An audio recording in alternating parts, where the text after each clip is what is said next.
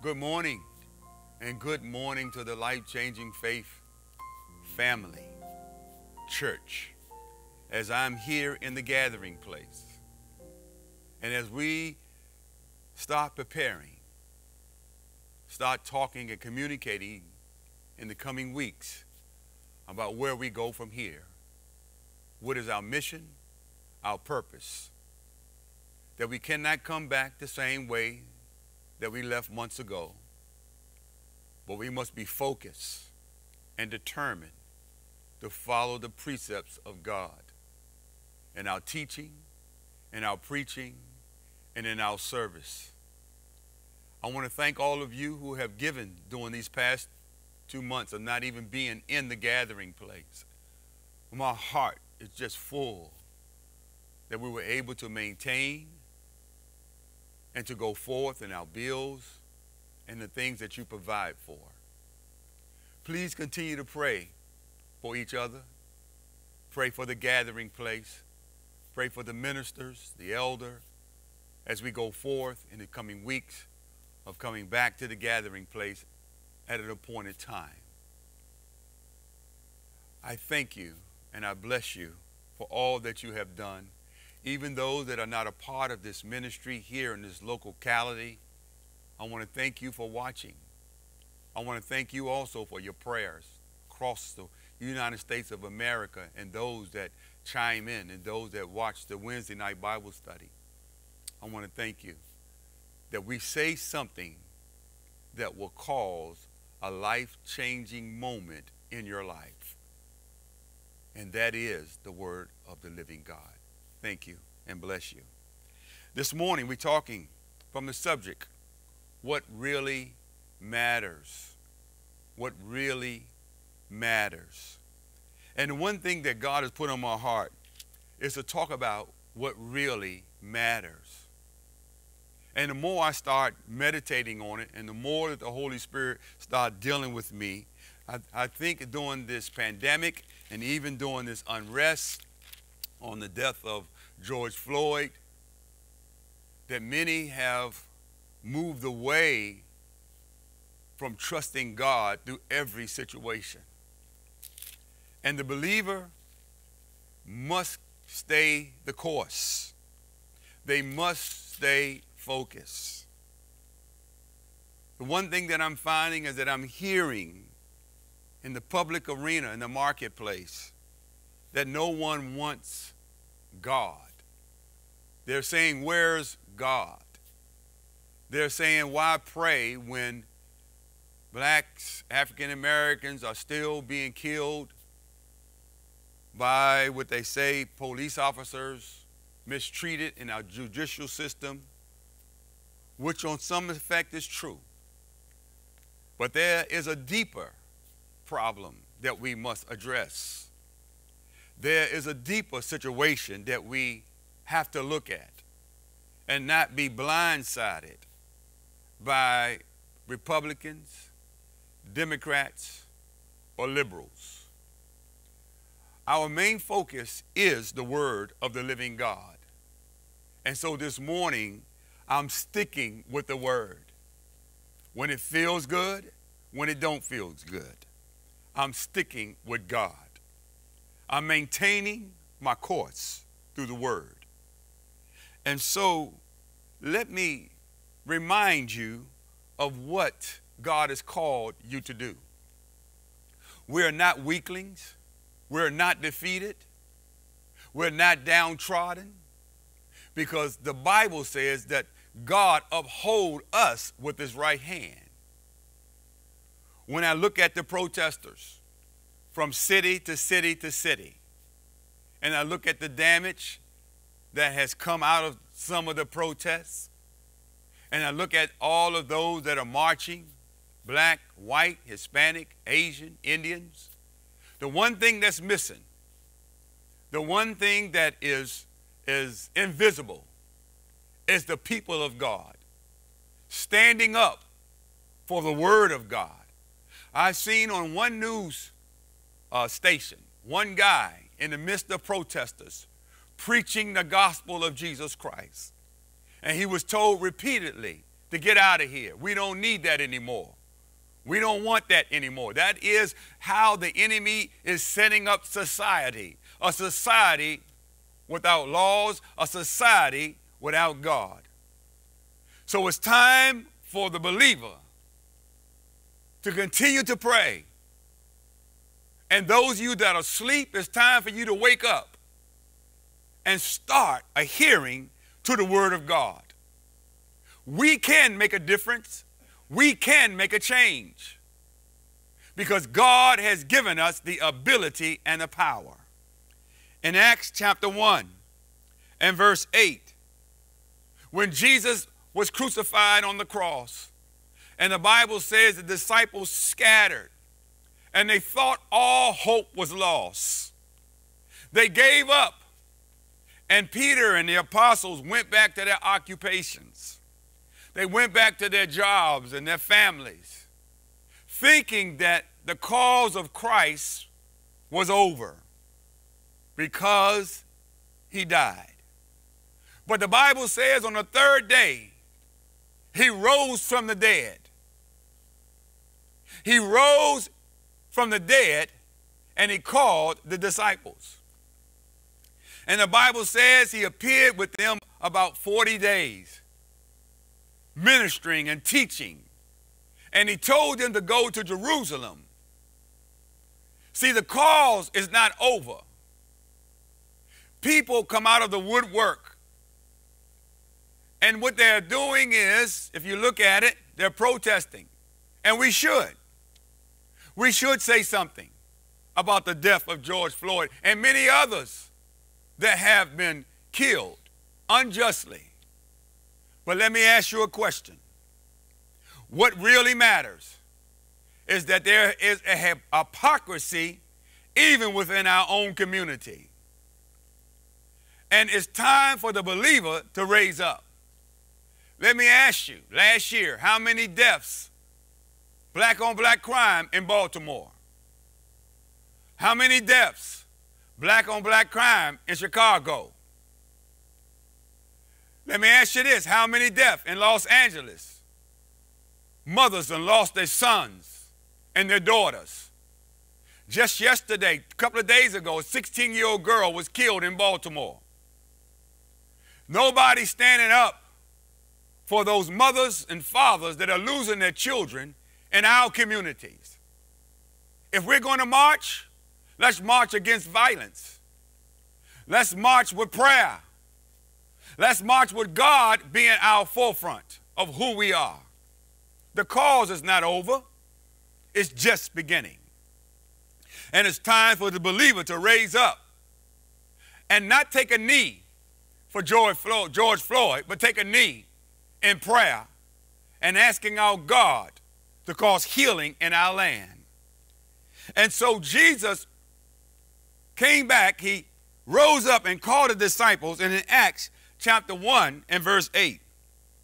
And he told them to go to Jerusalem until this right here in verse 8. He said, When you go to Jerusalem, but you shall receive power.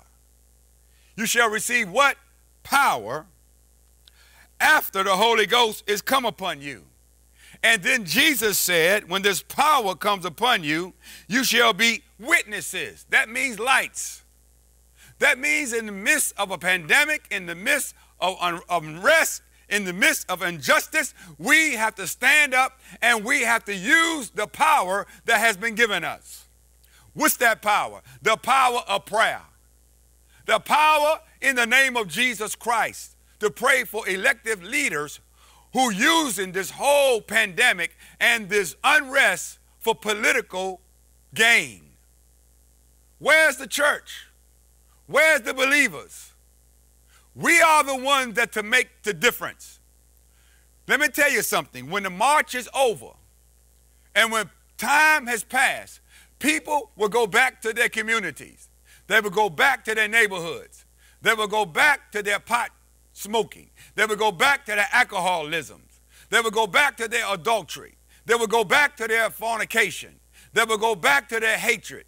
They would go back to their greed. When all of this is over and said and done, without the gospel of Jesus Christ, people will remain the same and crisis will remain the same. But for the believer, it's time for us to wake up and to do what the Bible has said.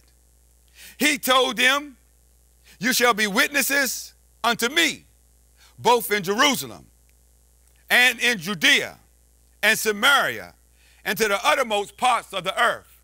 Today, we are called to be witnesses in our cities, in our communities, in our neighborhoods. You cannot be a witness just hiding in your homes, hiding and staying out of sight. There's a time that we must come together. And when we come together, our sign will say, Holiness unto the Lord. For God is still sovereign over all things. But God requires the believer not to live by political correctness, but to live by the Word of God. In Matthew chapter 4 and verse 4, when Jesus was being tempted, Jesus said these words. And he answered the devil when the tempter came, and he said to Jesus, If thou be the Son of God, command these stones to be made bread. That means whatever your need is, whatever it is, he said, he said, he said, command it. But Jesus answered, and it's still good today. It's as good today as it was 2,000 years ago. He said, It is written. It is what? Written. He said, Man shall not live by bread alone, but by every word that proceedeth out of the mouth of God. So I don't care what's going on in society. God said, Man shall live by every word that proceedeth out of the mouth of God. Here's the tragedy George Floyd died a tragic death. Nine minutes, this guy had his knee on his neck. That was tragic. My heart sunk when I watched it. I, I, I, I, I couldn't believe what I was seeing with my own eyes. But there's something more tragic than that. And this might upset you. It might make you even angry at me. But the tragedy of George Floyd's death is tragic that he died the way he did. But the tragedy is if he wasn't born again and if he didn't know Jesus Christ as his Lord and Savior, he didn't go to heaven. That's the tragedy of life, is to die without Jesus in your life. Is to die without receiving him as your Lord and Savior. That's the tragedy. Because death is not the end. The protest is only man's efforts. It's man's efforts to try to correct a wrong. Nothing wrong with protests. But if you went down to Constitution Avenue or Lafayette Square Park yesterday, and the mayor put in a row, Black Lives Matters. That is man's effort to try to correct an injustice. If you go went down there, there's no God visible. There's no God anywhere. Even believers have melted in to the melting pot. I'm realizing that even our elected leaders say very little. But the Bible has a whole lot to say. Because each of us will be judged and will stand before God. No matter how a person dies, he or she must stand before God to give an account for the life God has given you. And not many want God today. Not many want the Bible. They think they're weak, that they can't succeed in being a Christian. When you talk about the precepts of God in this day and time, you're going to be attacked. You're going to be talked about. You're going to be ridiculed. Anytime you lift up the name of Jesus Christ and talk about God, even the people who say Black Lives Matters will attack you. Because their agenda is not the agenda of God. And I know that makes some mad. I know that makes some angry. Go back over to Second Chronicles 7.14. God told the people back then, If my people, which I call by my name, will humble themselves and pray, turn from your wicked ways and seek my face, he said, then I will heal the land. People want peace and justice. You can't have peace without the King of peace, and his name is Jesus Christ. Many Christians are afraid to even mention the name. They're afraid to be opposite of society, opposite of their political correctness, and stand on the Word of God. Many have abandoned, pastors have abandoned the Word of God. Leaders have abandoned the Word of God because they want to be politically correct. But let me tell you something. There is no politically correctness when you stand before the judgment seat of God. Because we are commanded by the Bible to walk in love. We are commanded by the Bible to pray ye one for another that you all may be healed. We are to pray for the family of, of, of George Floyd. One thing about the family that I've come to realize is in his death, his family gonna become real rich. They're gonna get paid. That's what the, uh, uh, the counties and the state do. When a police officer wrong, they give them money. Act, that, that's not going to fix it. Money is not going to fix this problem. The only thing that fixed this problem is faith in Jesus Christ, and that today is not popular. It's not popular. But he said, You shall be witnesses. So I'm called to be a witness. Number two, I'm called to live by the word of God even when it's not popular. People don't realize how much power you have as a believer. But too many Christians today want power to cast out devils. They want power to heal the sick. They want to make a name for themselves. They want them, their names in the lights. They want to be known. They want to have influence. I'm going to tell you, and I'm going to keep saying it until you get tired of me saying it. The greatest power that a believer can walk in is the power to live obedient and the power to, to operate a life that's, that's honorable to God, a power over sin.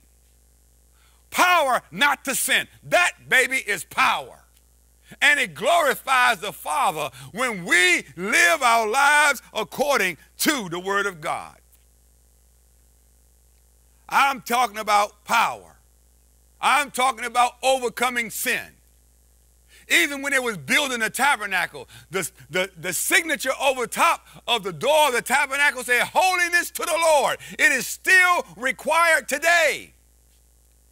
This is not the first time people march. This is not the first time people ride it. It's not the first time people gave up on God. Even, even James said, or Timothy said, he said, perilous times shall come, and men shall be lovers of their own selves more than lovers of God. The tragedy of life is to die without Jesus Christ. That's the real tragedy. If I die at the hand of an officer, to be absent from the body is to be present with the Lord.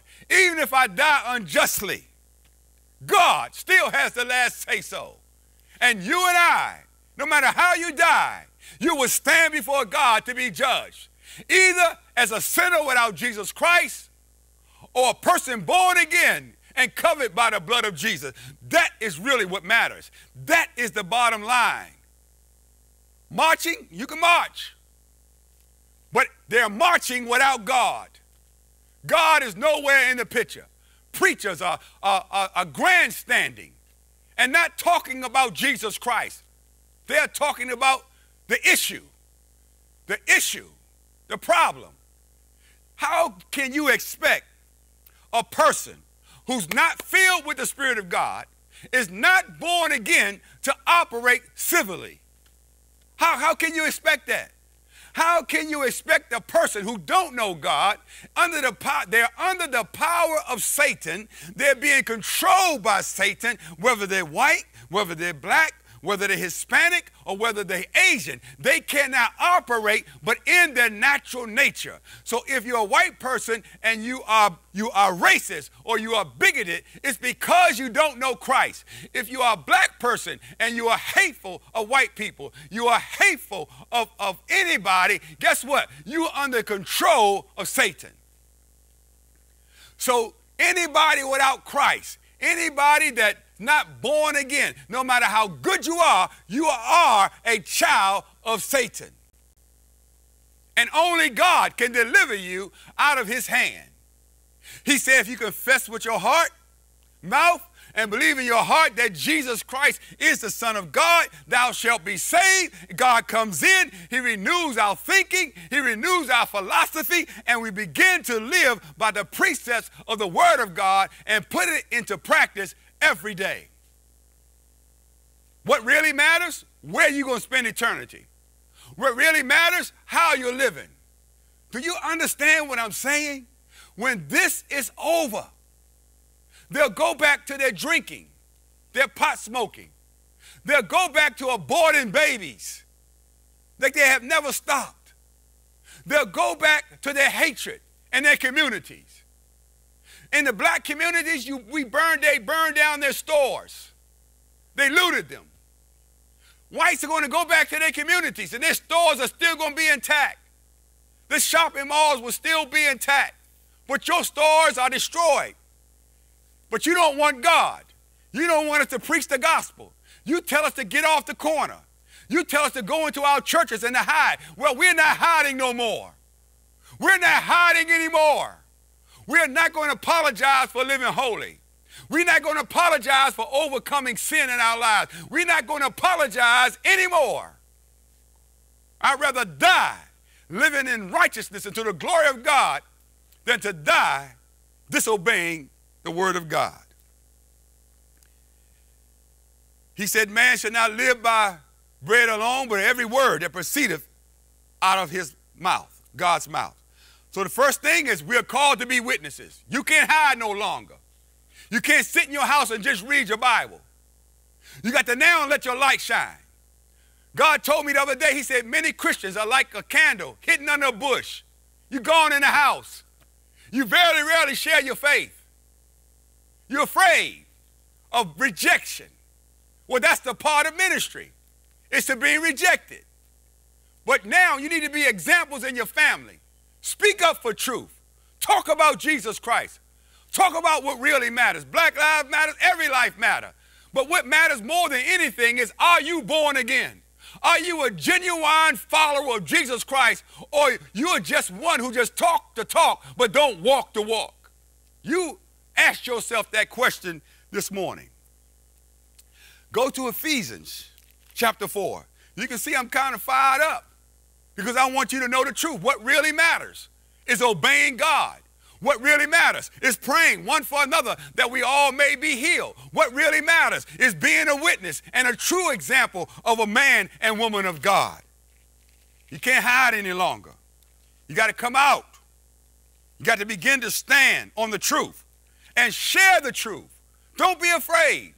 If they knock you down, get up. If they talk about you, smile. Because who got you? God got you. When Jesus was being crucified, he said, I could call 10,000 angels. Just call them, and they'll destroy the whole world. But he didn't do it because he loved you and I. Even though he was ridiculed, and talked about. It wasn't popular because the Jews didn't like him. The Greeks didn't like him. The uh, Sadducees didn't like him. Nobody liked him because he brought truth. I'm bringing this morning truth. I'm bringing this morning what really matters. Your soul is what really matters. Where are you going to spend eternity? Yes, it's tragic that George Floyd was killed the way he killed, was killed the way he was killed. I don't know if he was saved or not. That's not my call. That's God's call. Only God knows that. When he entered heaven, God knew. But we as believers need to take our place and begin to stand for truth and holiness and righteousness. And do not party with the unbelievers. Stop partying with the unbelievers. They don't want God. It's self effort trying to fix a social issue with people who do not know God and do not honor God. They can only operate from a position of flesh and greed and hatred until a man or woman is born again. They can only operate from the flesh. They cannot operate from the spirit. God do not hear your prayers even if you go to church and you only got a member, but you're not born again, your prayers are not being heard. You are a follower of Satan.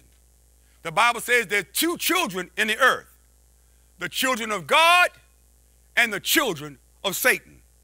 If Forrest can find that scripture for me and put it on the screen and let you read it for yourself, there's only two children children of God and the children of Satan. Children of God have received Jesus as their Lord and Savior and have committed to dying to self and have committed to living holiness unto the Lord. Sinners, those who reject Jesus Christ, are called sinners. And because they reject Jesus, they become the children of Satan. And they do his bidding. Whatever he tells them to do, they do it. Not so for the believer. It's time to wake up. It's time to continue to pray, but now it's time to not hide, but to come out of the church, come out of the four walls, and join me as we pray for our communities and our neighborhoods and our healing, that the killing among blacks will stop. We're killing each other. Young girls are aborting babies because they don't want them. They treat them like they're a piece of trash when they're made in God's image. You had sex, you produced a child, and because you don't want it, you kill it. And society is good with it, and God isn't. Hebrews chapter 4, verse 12 to 16, the place of power the place of power. Look at this. For the word of God is quick, alive. It is powerful. The word of God is powerful. Listen, just because you don't see it's manifesting right away, the word of God is not weak, it's powerful. We may look weak. We may look defeated. But baby, we are not defeated. We're not weak because we depend on the power of God. We depend on God, not our own efforts. Only when it tells us to do something by the Holy Spirit should we do it. For the word of God is powerful, sharper than any two-edged swords, even piercing, even to the dividing and sunder of soul and spirit, and of joint and marrow, and is the discerner of the thoughts and the intent of the heart. The word of God, it searches, it knows what's true. It knows the intent of the heart of why you do what you do. It knows when you're fearful. It knows when you're walking in truth. It knows when you're not walking in truth. And many Christians today have abandoned the word of God because when you start talking like this, when you start talking that everybody's opinion matters, but the thing that matters the most is God's word over my opinion, over my thoughts, over of what I perceive and is injustice. But God said if, if we would pray and turn from our wicked ways, that's the problem. Protesters aren't turning from their wicked ways. There's no God down there. Yesterday, down at the plaza along Constitution, Pennsylvania Avenue, they had their music going and they meshing it in with Gay Pride Day. Hey, Gay Pride Week is coming up. You know what that means, right? Protesters and gay pride people. Everything that we supposed to be against because God is against it. God is against same sex marriage. God is against fornication. God is against adultery. God is against hate. God is against injustice. God is against it. And you say, why don't he do something? That's why he got you here. That's why he got you here. You and I are the representative in the earth. We can make the difference. White people need to, need to understand you can't go to heaven being racist. Black people need to understand you can't go to heaven hating. Asian, Hispanic. You need a heart change. You need a nature change. And the only one can do that is God Almighty. So he said in 13 verse, neither is there any creature that is not manifested in his sight, talking about God. But all things are naked and open unto the eyes of him with whom we had to do. God sees everything. God is allowing it. We all being tested. We all being tried. Where's your faith at? Is your faith in Black Lives Matter? Is your faith in the government? Is your faith in a stimulus check? You want another stimulus check that only lasts for two days and you spent it up? You didn't pay your rent? You didn't use it correctly? The devil is making roughshod of his people. He could care less about you. The devil is out to kill, steal, and destroy. But God comes that you may have life and that you may have it more abundantly, and people don't want that. They want to pleasure their flesh. 14. Seeing then that we have a great high priest that is passed into the heavens, Jesus, the Son of God, let us hold, lay hold on our professions. What's your profession? He said, For we have not a high priest, listen, which cannot be touched with the feelings of our. He understands what's happening. He understands the feeling of our infirmities. But he was in all points also tempted like we are, yet without sin. We're tempted. Yes, we are. We will always be tempted as long as we's in, his in these bodies, but you can overcome temptation. For God has given you the power, according to Acts 1 and 8. He has given you the word of God. Man should not live by bread alone, but every word proceedeth out the mouth of God. And the place of power is God's word. 16. Let us therefore, listen, come boldly right now to the throne of grace. Come boldly to the throne of grace, listen, that we may receive mercy and find grace in the time of need. I believe this is the time of need. I believe right now this is the time of need. People are marching because they're not working, they're working from home, they're telemarketing, but God is not in the midst. If you die without Jesus Christ, no matter how you die, in a plane crash, on a train, in a car crash, or if a person is murdered, guess what? You still are going to face God Almighty. You're still going to face Him. And you still will have to give an account for how you're living your life. You should not be practicing sin. You should not be practicing hatred. We should rely on God and allow Him to direct our path and not self effort absent from God's power and His Word. You talk to me, I'm going to give you the Word. I'm going to tell you what the Word says. I know you dislike it. I know you don't like it. I know it, it makes you feel uneasy. But if you're in a relationship and you're not married, it's against the Word of God. If you're being hateful, if you throw a brick, if you cursed, if you got in, in, into law enforcement faces and, and said unimaginable things, that's terrible. That's not how we are as Christians. And you go down there and talk to people, are you a Christian? Yeah, I'm a Christian. I believe in Jesus. But look at that, look at that character, the attitude. The best thing you do for George Floyd is to pray for his family and pray for those that are still living, because there's nothing you can do about those that are passed on. Nothing. The greatest thing we can do now is be a witness, live by the word of God, and reside in the place of power. And that place of power is Hebrew 4, 16 verse. Go to Ephesians. Ephesians. I'm telling you, look at the look at the killings in our community. We done killed more people. In Chicago, 900 and something black deaths. By who? Black people.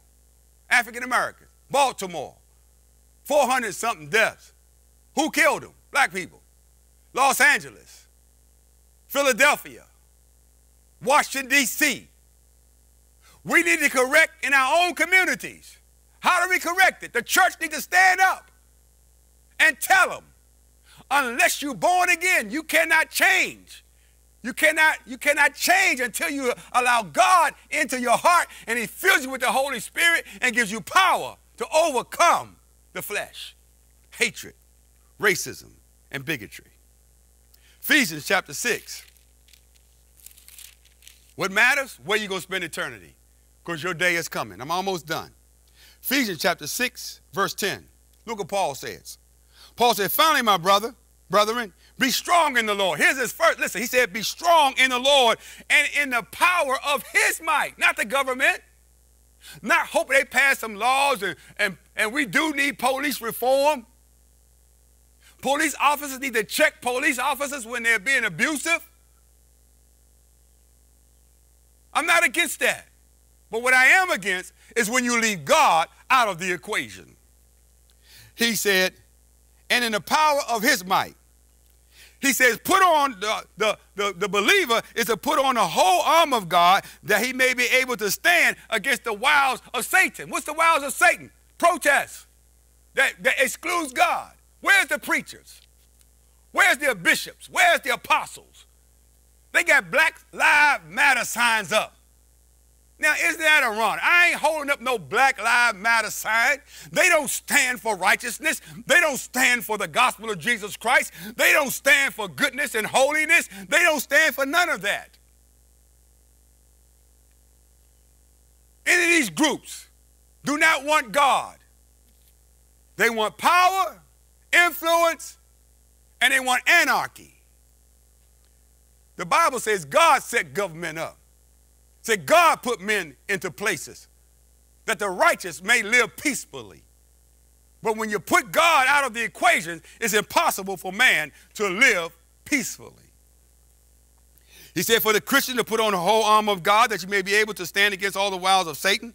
Listen to this, for we wrestle not against flesh and blood, but against principalities, against powers, against the rulers of darkness of this world, against spiritual wickedness in high places. Wherefore, take unto you the whole armor of God, that you may be to withstand in the evil day, and having done all, stand. Stand on the word of God.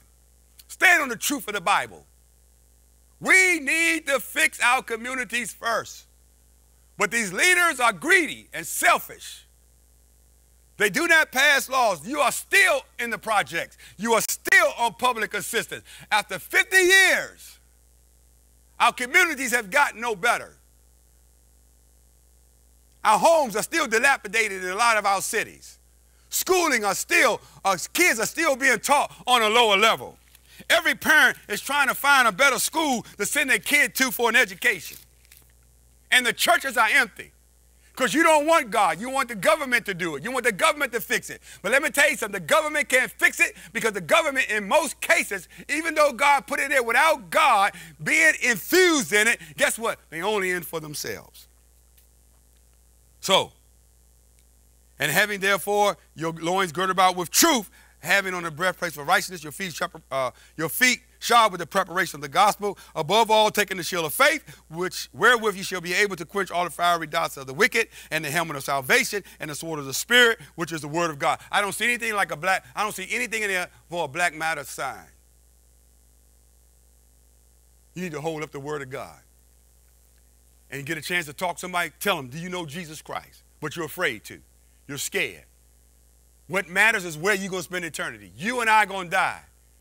I don't know how we're going to die. I pray I don't die getting murdered. I pray I don't die in a car accident. I pray I don't die on my motorcycle. I pray I just pass away. But no matter how you pass away, if you're not genuinely born again, you will be judged with sinners. Satan is not your problem. We our own problem because we won't live holiness unto the Lord. What really matters is the Word of God. What really matters is obedience. What really matters is walking by faith according to the Word of God. What really matters is to trust God in all situations, even when I don't see anything. I know God is working.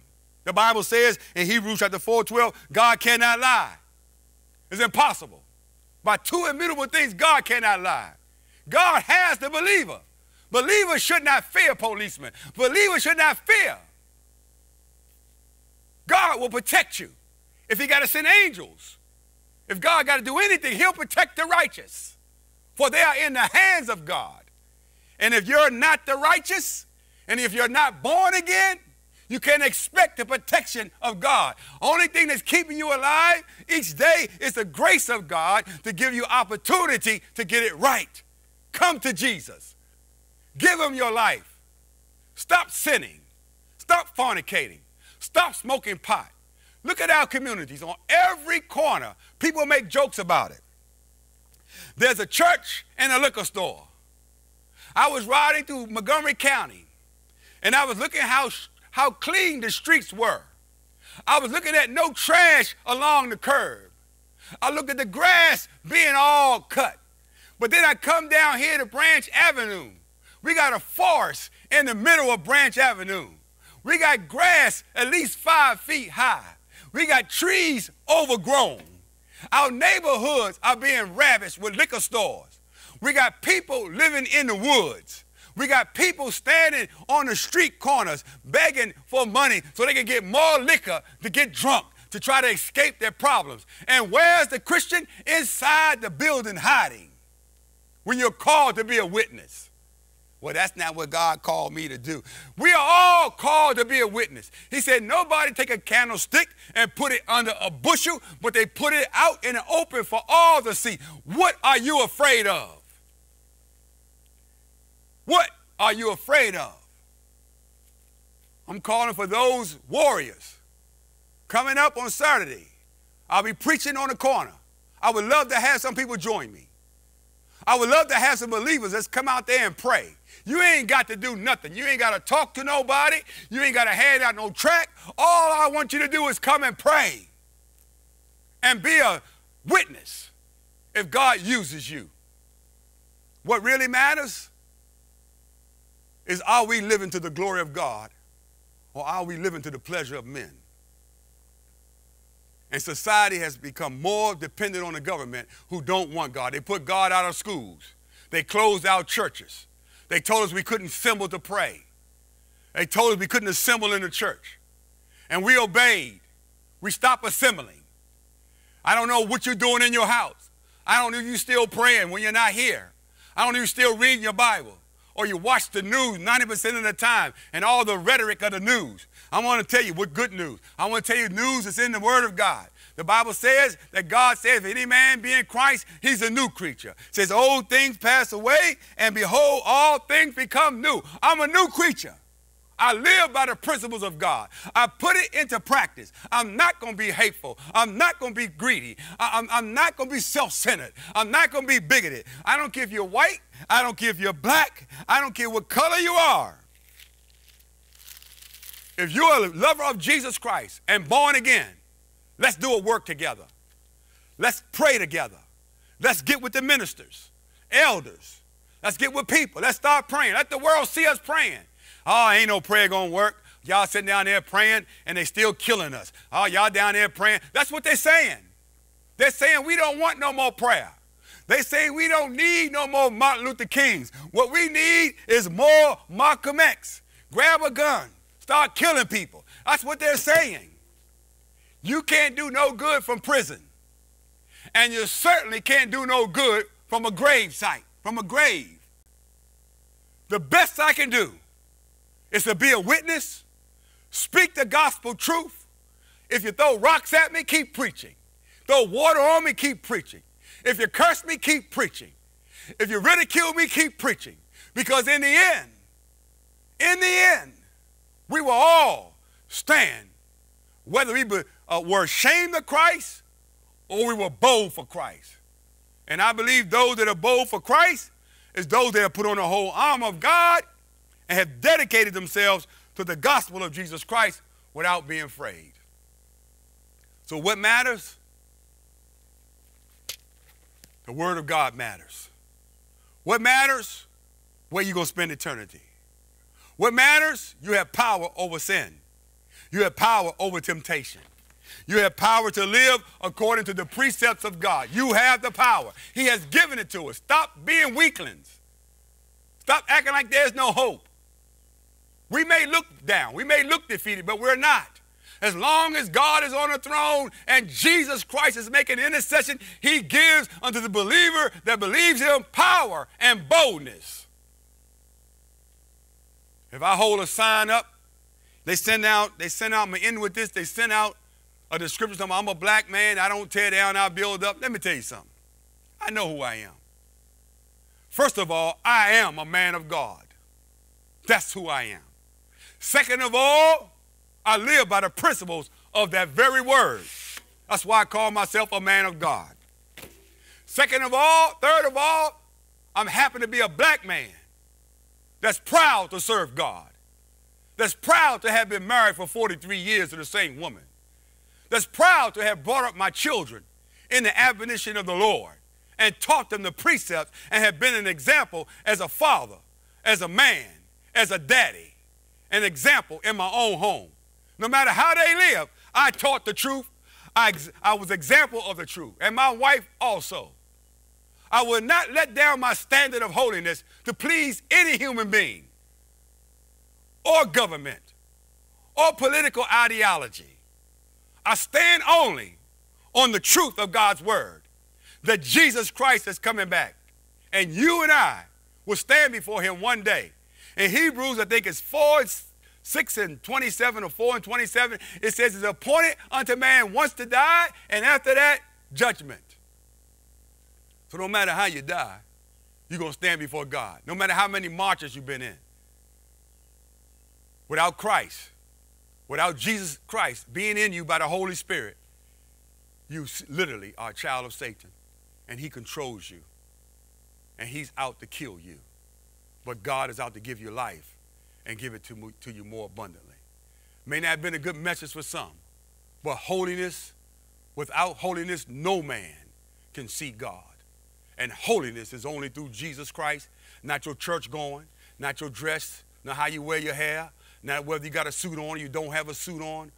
Holiness is obeying God's word and announcing that he is Lord of all. So if you're not saved today and you don't know Jesus Christ as your Lord and Savior, if you died today, how would you be judged? How would you stand before God? Would you be judged a sinner? Who rejected Jesus Christ, rejected the Word of God, and live according to your own pleasure, that hell will become your home. God is not unjust to give every opportunity to every human being that ever was born the opportunity to come to know Jesus. In the midst of all the rhetoric that it's a white man's Bible, the Bible's outdated. The Bible don't matter no more. All that rhetoric don't mean nothing because the word of God is true. Jesus Christ said, I am the truth and the life. He said, though a man dies, yet shall he live. But you can only live being born again. So if you're not saved and you're living a life of sin every day, you're sinning. Whether it's adultery, fornication, pot smoking, drinking, lying, bigotry, racism, hatred, whatever it is, bow your heads. Say, Father, forgive me, for I'm a sinner. I have rejected you time and time again. But I realized, God, if I died today, I wouldn't be in heaven with you. And so I ask you to forgive me of my sins, God. Forgive me of my fornication. Forgive me of my lying. Forgive me of my racism. Forgive me of my bigotry. Forgive me of my self-centeredness. For, forgive me, God. Come into my heart. Fill me with your spirit. Open my eyes so I can see and my ears so I can hear. God, change me. Change me, God, that may be pleasing in your sight and obedient to your word. Please, God, I receive you today as my Lord and Savior. Help me to live the life that you allow me to be born. And the purpose that I'm living is to be a witness and a light in a dark world. If you say that prayer, God bless you. Thank you for joining the kingdom of God. If you have made that prayer confession, please leave a comment down below. I received Jesus today. Just let us know. I received Jesus today. I repented of my sins. If you're a backslider, you can pray the same prayer, and God will do the same thing in your life and bring restoration. He's not a God of destruction, He's a God of life right now to bring you to Himself. Would you join the family of God? Would you come in and allow Him to be Lord in your life? And also, I want to thank you. Watch us on Wednesday night as we're teaching on tithing. Um, continue to pray. Continue to, to honor God in your life because this life is short. And Jesus is coming back. I don't know if it's in my, in, in my lifetime, but I know he's coming back and I'm living like it every day. God bless you. Have a wonderful Sunday. Don't forget to, to support our church, please. If it's in your heart, the Holy Spirit move in your heart, give whatever you can to support this ministry and to support the work that we're doing here in the Suitland community. We're located at 3235 Swann Road, Suitland, Maryland. We'd love to have you in a place when we open where you will get life changing word. Have a blessed day. God bless you. Thank you for joining us.